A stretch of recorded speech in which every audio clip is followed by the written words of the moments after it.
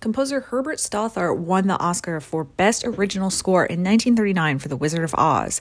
Now, we all know and love the score from Oz, but did you know Stothart includes references to several classical pieces within the score of the film? Check these out.